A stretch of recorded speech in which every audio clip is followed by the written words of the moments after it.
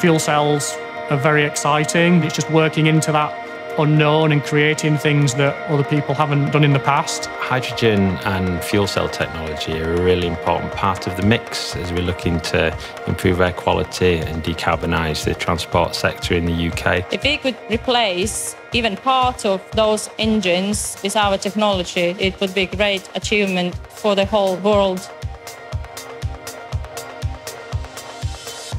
Intelligent Energy is a engineering company focused on the development, manufacture and sales of hydrogen fuel cells. We've always been focused on this project with the commercialization of the fuel cell technology. Initially we were focused on a range extender for four-wheel for a light commercial vehicle. One of the challenges that we came across is we didn't have a vehicle OEM in the project and it was very difficult for us to pin down the requirements. During that time APC gave us a significant amount of support in terms of attracting Suzuki GB into the project. And what that enabled us to do was to move focus from deploying the fuel cell onto a four-wheel vehicle onto a two-wheel vehicle. Intelligent Energy approached us to add the voice of the user to this development project.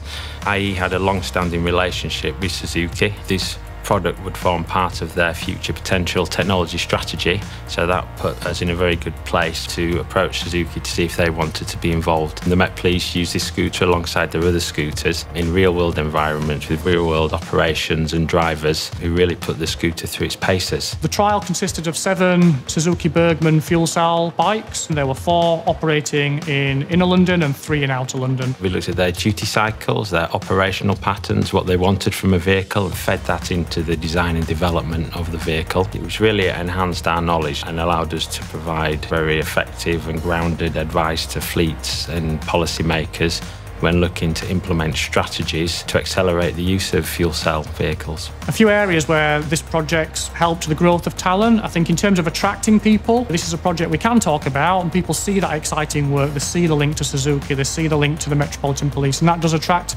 people to come and work for us. I'm responsible for setting up test plans based on customer requirements. Every day is different. There are plenty of challenges, there are plenty of opportunities to learn new things. The funding via the APC is very important to us. It gives a kind of thumbs up that the APC and the government are supportive of this technology. It's a message to other people to look at that endorsement and, and really think that, yeah, fuel cells are, are on the roadmap.